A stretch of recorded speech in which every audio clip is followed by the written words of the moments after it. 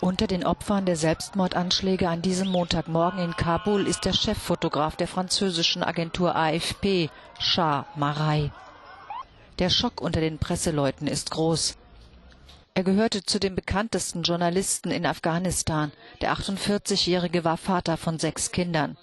Shah Marai berichtete seit zwei Jahrzehnten über die Konflikte und den Krieg in Afghanistan.